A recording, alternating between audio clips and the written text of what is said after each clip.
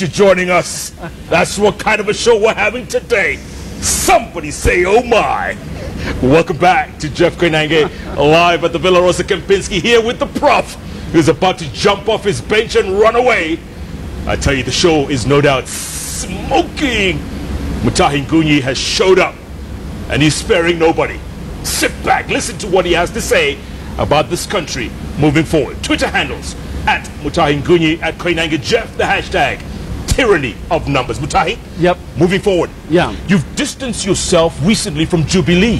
Why? Uh, by the way, um, if I have uh, that distancing is because I never was close in the first place. They said you were in the kitchen. No, I was never in the kitchen cabinet of Uhuru Kenyatta for a fact. That and you, you know him. You can call him and ask him if I was ever in his kitchen cabinet. However, I must tell you this: that this is the government of my generation. Yes. And as my father used to tell me, you never leave a generation. The boys that you got circumcised with, you stick with them To the very end. To the very end. So another critique of the Jubilee government has to arise, and that critique will have to come from a generation younger than ourselves. So why don't you offer yourself to critique them? Because they don't seem to have people who can critique them. They have a lot of yes people in that kitchen. If I critique them, I critique them internally, one on one. But uh, if they ask me, I'll be more than happy to critique them, to give them my thoughts. But I will not, I will not hit out at them the way you incited me many times to incite Mwai Kibaki. And by the way, you need to, I need to apologize to him on your behalf. For Are you going to give him a goat like you did to the Luo nation? I would actually want to give it to him because the old man was right. But you're the one who constantly misled me into believing that he was not. Look at the roads he's built, Jeff. Yeah. Are they not built Yes. Across the entire country? Absolutely. So when we sat here and we called him your uncle and criticized him, I think we were damn wrong.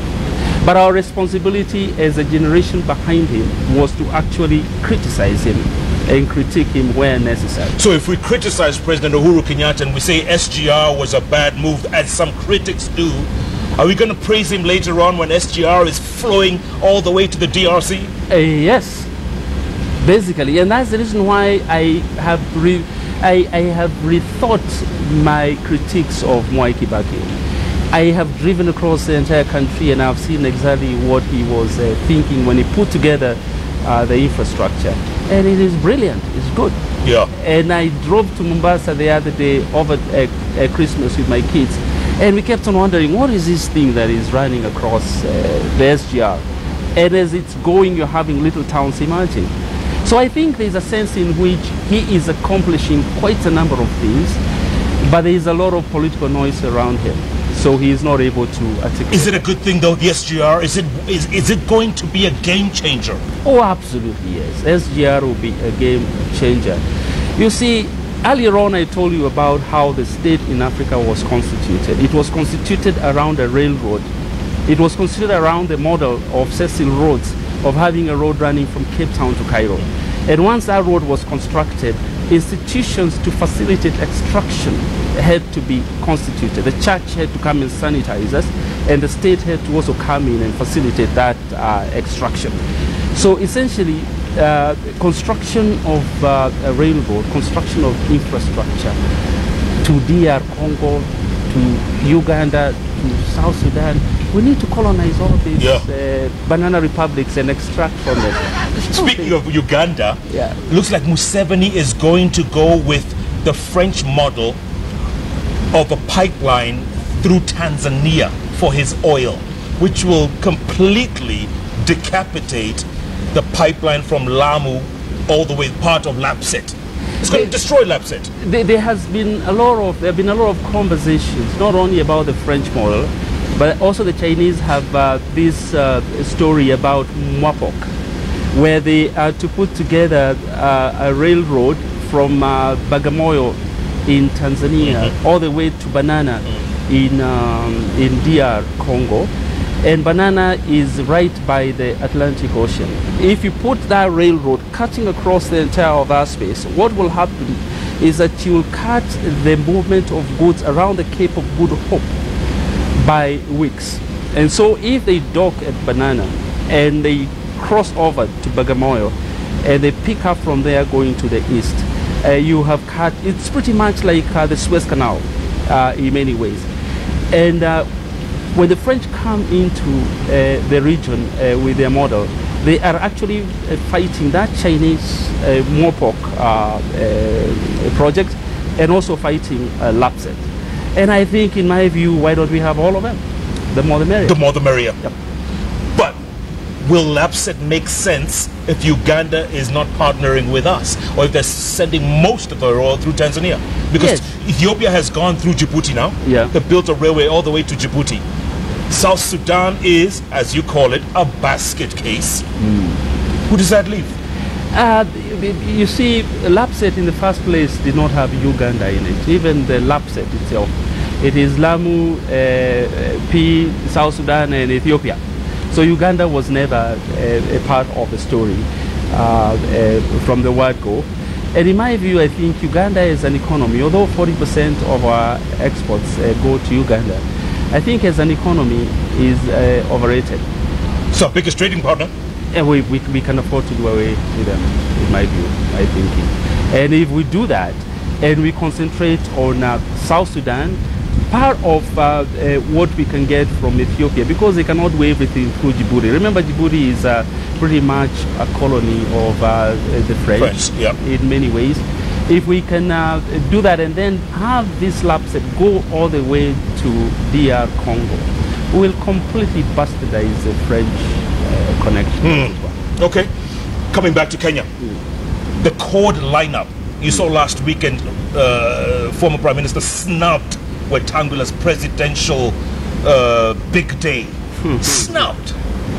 So what happens now? Do they, are, they, are, they, are these people going to stick together, or is CORD cordless?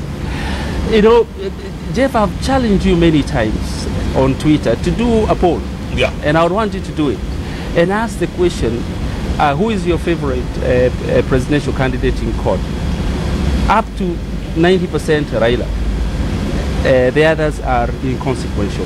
So for Raila to tell us that he's bringing some Muzungus to moderate uh, his, the appointment of, uh, of a CORD candidate, I think he's lying to us. And I'm saying that because if you look at the historical pattern of Raila politics, it's always been that before the election, he is a team that is strong. Yeah. Uh, that's about two, three years before the election. But uh, uh, a year or so before the election, kaboom, he rukas all of them. You do remember that in 2007, he was never the candidate. But during the football uh, uh, match, I think, uh, the World, World Cup, World Cup. I think, he put an ad and announced he is interested. And Kalonzo Musyoka was devastated forever. Right. So uh, this whole thing of saying that there, will be democratic elections is nonsensical, and I think they should abandon it and just say Baba is the one and stop wasting political energy. Can he win? Raila Odinga will not win this election. I know his followers don't like it when I say so, but I would want to urge them to look for an alternative. But Raila Odinga cannot win this election purely on account of tyranny on numbers. Hmm. Yes. He doesn't have the numbers. Can he back somebody? Can they have a team, whether it's Kalonzo and Weta, Kalonzo and Mudavadi, Kalonzo and Joho? He, he will not back anybody. The message Raila is sending to this country is Raila or nothing. And if it is not Raila, it is Raila or coalition. And if it is not Raila and coalition, is Raila, as David told us, is Raila or ban the country. that was David. That was what David what said. What was, said. was implying actually. Who becomes his running mate? Who's the most eligible guy? My thinking is that to make Kalonzo his running mate is to waste time. Uh, running mates should be Wetangula. You think so? Absolutely. Even after snubbing him? Wetangula will be brought back, he'll be given a lollipop, and he'll be a happy guy. Do lollipop diplomacy. He'll be patted at the back. If he told there was no problem, I had to go see Magufuli, and uh, he'll be more than happy to to join him.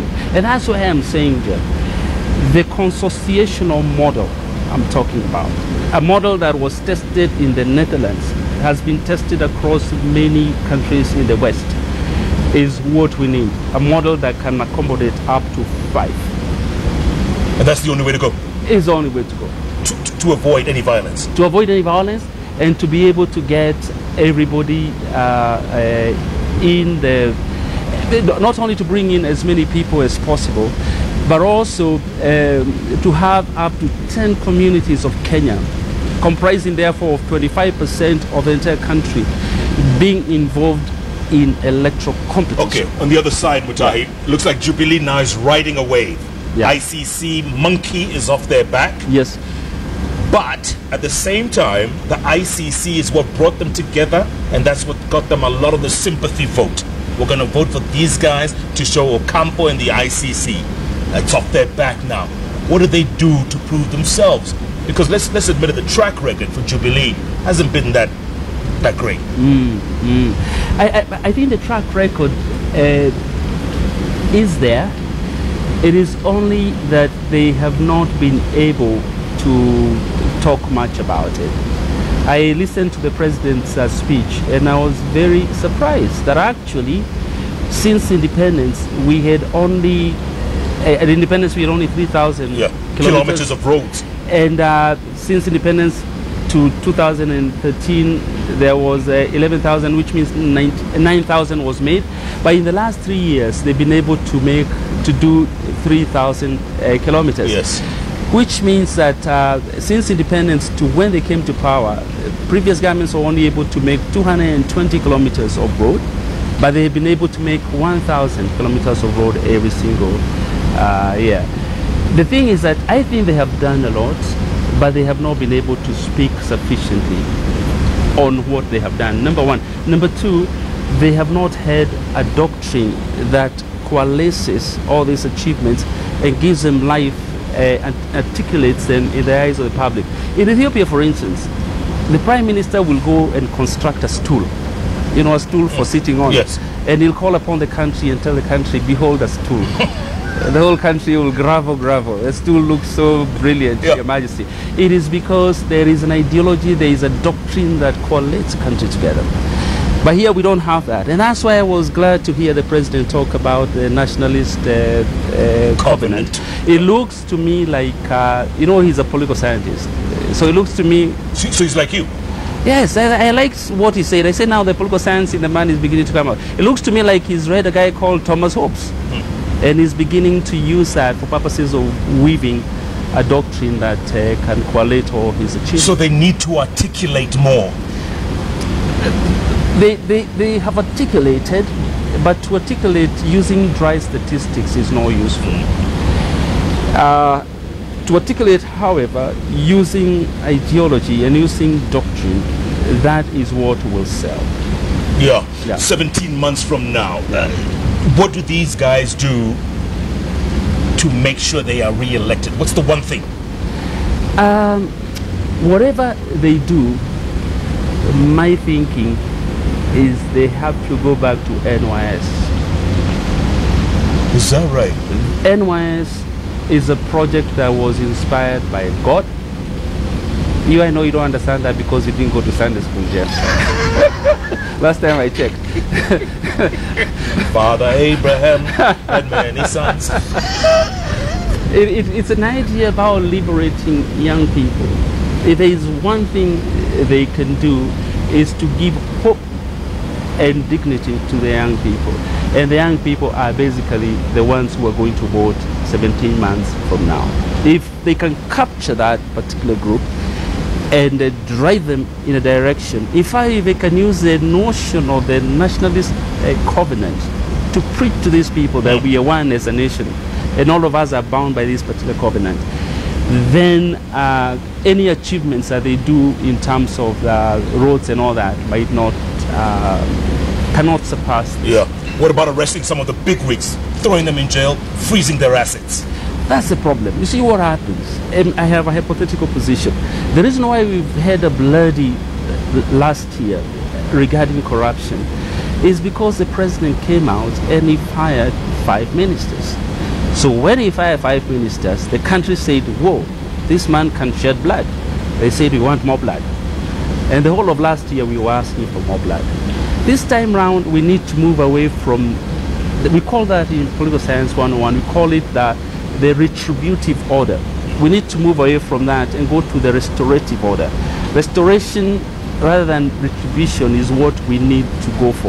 And in this particular case, if you can create a dream for young people, if you can go to the ground, liberate them from the poverty of dignity, and show them that this country is actually their country, that will give them more mileage rather than doing dramatic things like arresting people. He can actually arrest the whole cabinet today mm-hmm. and have them all locked up.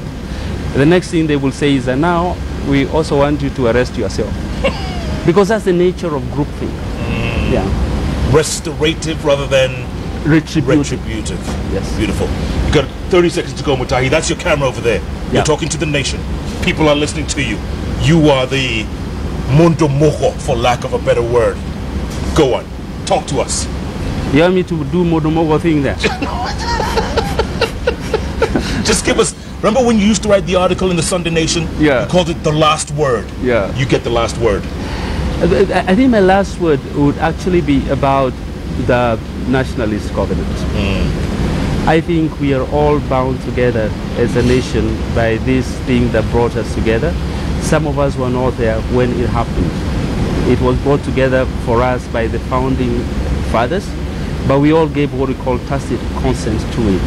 And uh, this thing is greater than all of us. It's greater than uh, one uh, individual. It's greater than the ambition of all of us. Yeah. And uh, I think that we must do everything possible to preserve this country. Mutahi, one last thing before I let you go. Any regrets about working for Devolution Ministry, for Waiguru, for NYS? Any, any regrets?